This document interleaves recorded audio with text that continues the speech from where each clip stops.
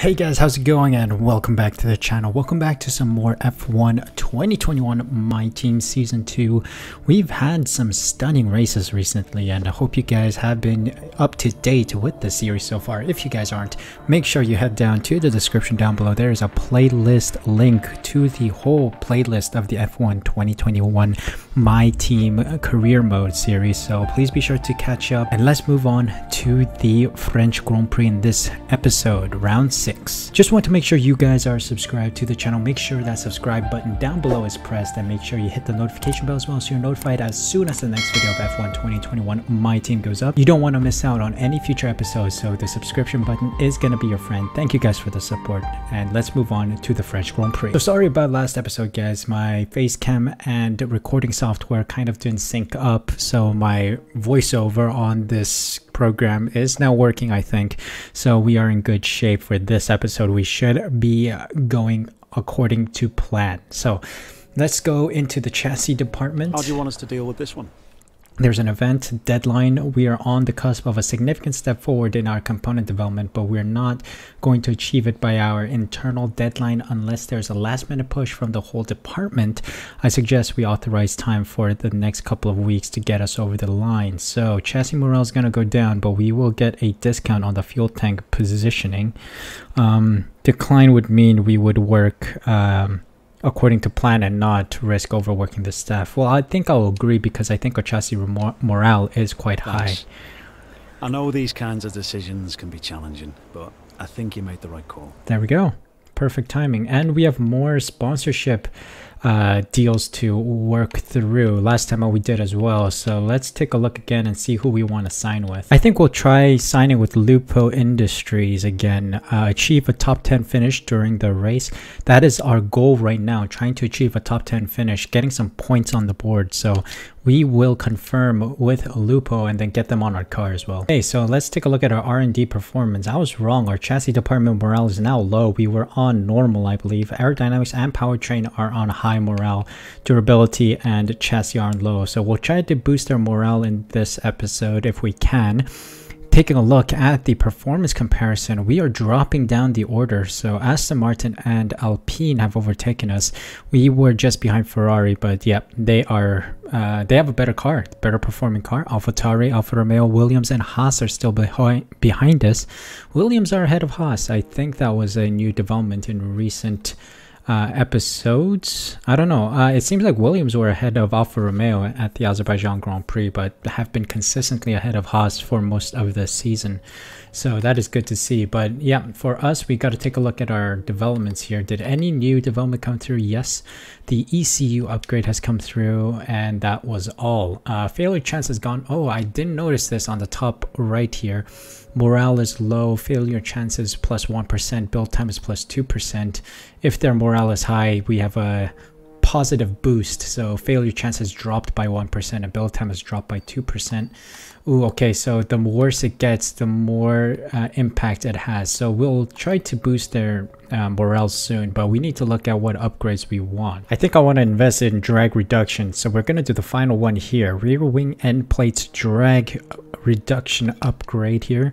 Will it come in time for future Grand Prix so we can do rushed for uh, delivery before Austria, which I think I'll try because our failure chances dropped by 2% and build time is dropped by 4%. So I think we're in good shape here. So we'll try to get that in rushed and we will jump a couple cars on the performance standing here in aerodynamics. So hopefully that'll come in time for the Austrian Grand Prix. So this is midweek, just before the French Grand Prix. Uh, we have a development fail, which is the lightweight wheel rims. I was hoping that would come through before the French Grand Prix. We don't have any, we don't have sufficient funds for this to be restarted. Uh, it's gonna come before the Silverstone Grand Prix, so we'll have to wait until the end of the week or maybe closer to the uh, practice sessions. Uh, we have another department event We've in the powertrain. LRN Skill is a company offering a suite of online lecture materials, many of which would be a useful development resource for our engineers. Access to the materials is a one-off licensing purchase, but we then we'd need personnel to integrate them into our existing development processes. So it's not cheap, but it would be really valuable. Um, I'll do it. I have enough cash, so we'll take the resource points and spend the cash for it. Um, do I have, oh, I have uh, plenty of R&D points now. Uh, let's go back to chassis and restart this one then. It'll come before the Silverstone Grand Prix. I do have 900 or so resource points available and I think it was under chassis that we have fuel tank positioning which is just enough. We have just enough for this so maybe we can get it before Silverstone Oh, I'm not going to take that chance. I'm actually going to go standard and have this arrive before the Hungarian Grand Prix. So let's do that. And let's move on with time. And that is it. I don't think there's anything else that we can do at this time. So we'll move on into race weekend let's see what we can do at the Circuit Paul Ricard.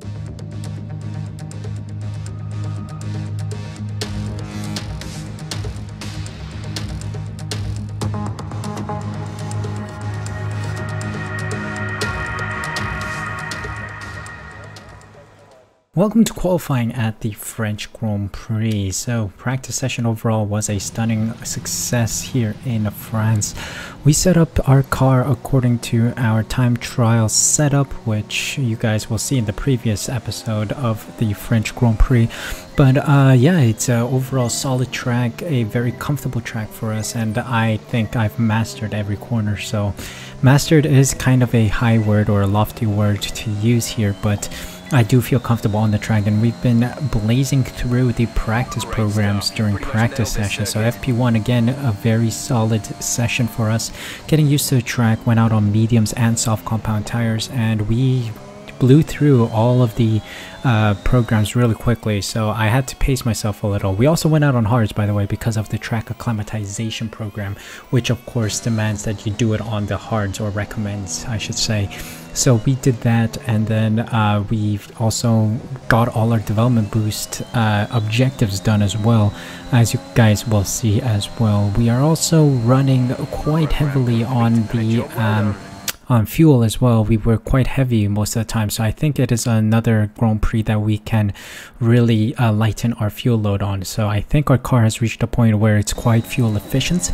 So we can really take it easy on the fuel here. Um, yeah, other than that, I would think that our first run really taught us that the medium and soft compound tires are always superior. I think the hards are okay on this track. So if we have to do a medium to hard stint, I think we might consider it but uh, overall I think we will try the medium soft stints or soft soft medium medium soft medium something like that uh, in order to uh, try and get the best time possible so FP1 ended us uh, I think P10 or so FP2 we ended somewhere around uh, P21 or something like that we were quite slow compared to the others they were getting quite fast on track so it was quite disheartening to see us try so hard to get the qualifying pace program completed and see ourselves way back down the order. So we are projected to be somewhere around P13, P12 according to the program, but it doesn't seem like we will be in that region if we continue to perform like we did in the practice sessions. Practice 3, we tried it one last time just to see how well we did, and I think we were quite off the pace. I think we were somewhere around P16 by the end. So again, it just shows that it's quite a competitive field of cars coming into the French Grand Prix. David Coulthard did well overall, and I think he got a couple uh, resource points for us, a good chunk of resource points that add up a lot into our resource point bank. So hopefully we'll use that in the next episode as we continue our progress through the performance charts. And that is all. Uh, we are looking at qualifying here at Paul Ricard. It is going to be quite an interesting session, I think, considering the cars are quite quick around here. If we also take a look at the weather, I think it's going to be dry for qualifying, but there will be a rain stint in the race itself. So hopefully we can get a solid competitive time in during qualifying one. Hopefully we can make a Q2 appearance and our goal will be to try and get a Q3 appearance. So let's go out, let's set a lap.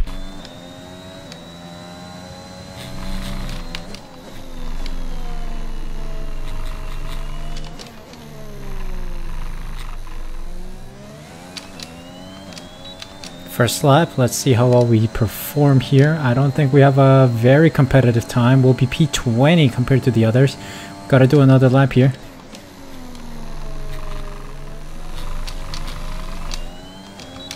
Slightly improved, 3 tenths or so. Let's see where that places us. Don't think we haven't moved at all. This is bad. We gotta go into the garage, quickly set a new set of soft-compound tires on our car and try to push out.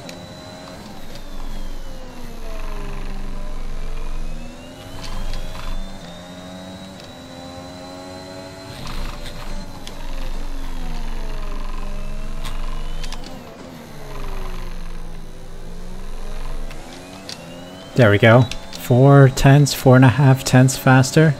Let's see where we sit by the end of the session. So Lando Norris with the fastest lap of the session, 125.4. Max Verstappen and Lewis Hamilton just behind him. Let's see where we are. David Coulthard P15 and we are P16. So both of us make it through to the next round of qualifying as expected. George Russell, Stroll, Raikkonen, Aitken, Latifi, and Mazepin get knocked out. So let's move on to Q2.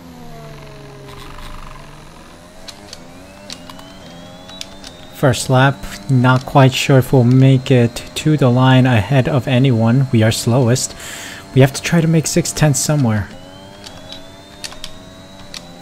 Yeah, not much of an improvement. One tenth or so.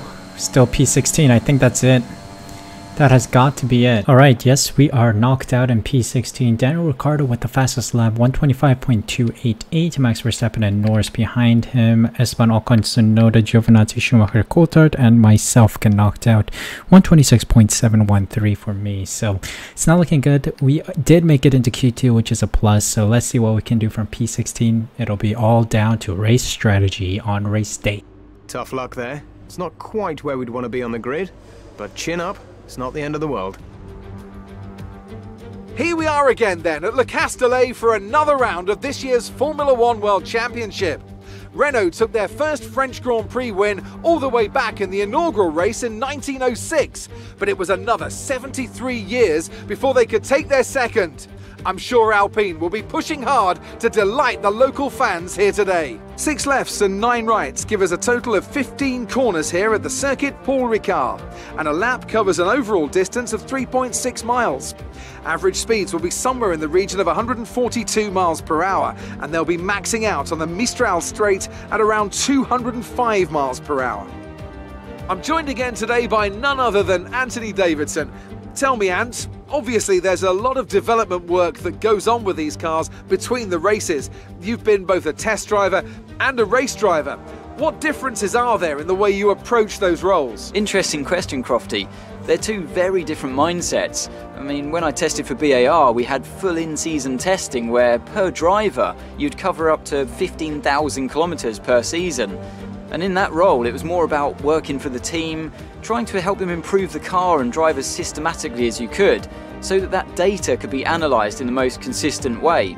When you're lining up on the grid for a race, however, your frame of mind's all about what you can get out of the situation on that day, and the car's the tool to help you achieve what you want. You still want to focus on setup, of course, but it's more about the here and now, getting yourself as far up the field as possible, and less about development work for the future. It's time to take a look at our starting grid for today's race. Daniel Ricciardo has a clear view ahead from pole position, edging out Max Verstappen, who'll start from P2. Looking at the rest of today's grid, we have Perez, Hamilton, Valtteri Bottas, and Leclerc, Sainz, Vettel, Gasly, and Esteban Ocon. Norris, they've taken a grid penalty. Tsunoda, Antonio Giovinazzi, and Mick Schumacher. Coulthard, the captain, George Russell and Lance Stroll. Raikkonen, Aitken, Latifi and Nikita Mazepin.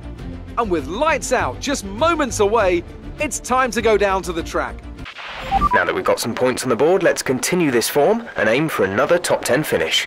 Let's see what we can do from P16. Race strategy will mean everything. So let's see. Medium to hard is the proposed strategy. Let's see if we can add a soft stint at the end, if that will impact our time at all. Uh, seems like it's going to be very difficult to try to do a medium soft stint, so we will keep the medium to hards going. Fuel will drop to 75 or 45 kilograms. We can save some fuel. Our car is quite fuel efficient, I think, so. Alright, medium tires all around. P16 starting position, not where we want to be, but let's see if we can make up lost positions as we get underway. Coulthard with a beautiful start. Russell with an even better start. We had a decent start, I thought, but we are falling down the order. Dive bomb into turn one has worked out in our favor. P13 right now. Whoa.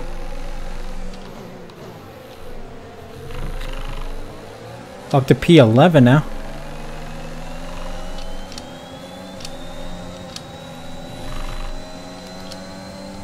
Alright, we're right behind Norris. That was a decent move around everyone in that uh, U-shaped turn there.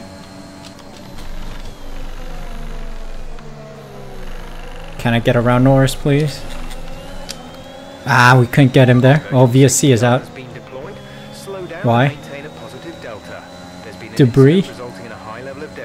Yep. High level of debris on track, so I don't know what it was. Nearly crash into Norris. Someone definitely lost a wing ahead. Yep, Leclerc lost a wing.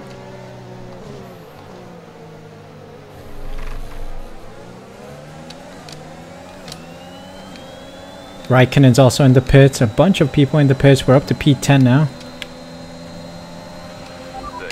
Okay, safety car's ending.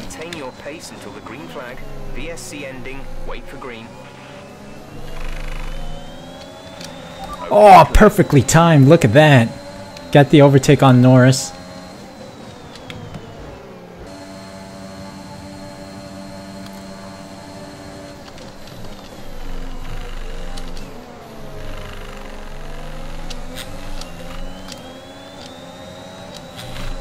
Oh dear, Norris is trying to attack us. He is gonna get by. We're gonna squeeze him on the uh, inside.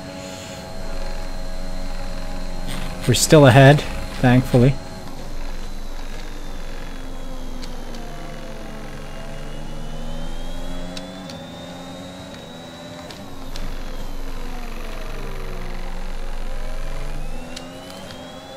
Come on, come on. This is decent racing so far. We need to get close to Gasly. Norris is trying the inside line. Can't get the move done. Pitts, Giovinazzi. Norris is really on my bum here. Norris is quite fast, so...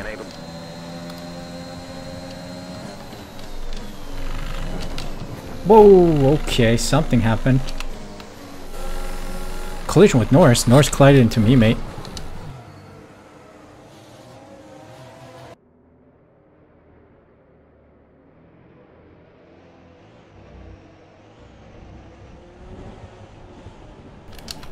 Vehicle condition?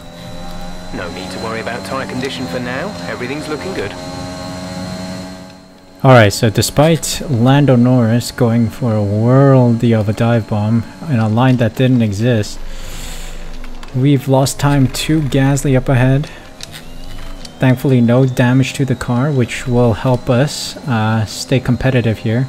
Tsunoda and Ocon on mediums behind us, and Gasly and Vettel on softs ahead. So we're going to try and push while we can. Their softs are going to die off as well, so maybe it is best to just monitor the situation. Driver in front. Gasly is ahead of you. The gap to the car ahead is 3.0 seconds. They're on old softs. Their tyres are four laps old. We think they've got two stops remaining. The time last lap was a 1.29.6. We're dropping back by a second per lap. Don't panic just yet, but uh, we've seen a problem. Oh, our end. dear. We're looking into it. Oh no, is it another engine failure? Then it's the shortest episode in existence, mate.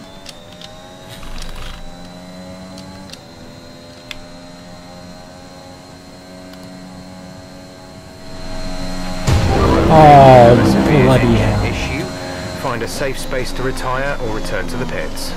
What are you talking about, mate? Are you sure? Oh my god. I was on for a good race too. I did brilliantly at the start and then engine gives up. Oh my god, look at that. Ah, this is a shame.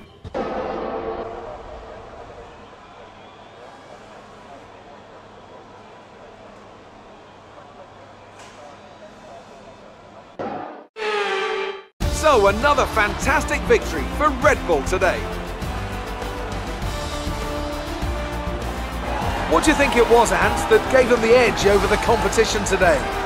Well, time management probably played quite a large role in the outcome of this one.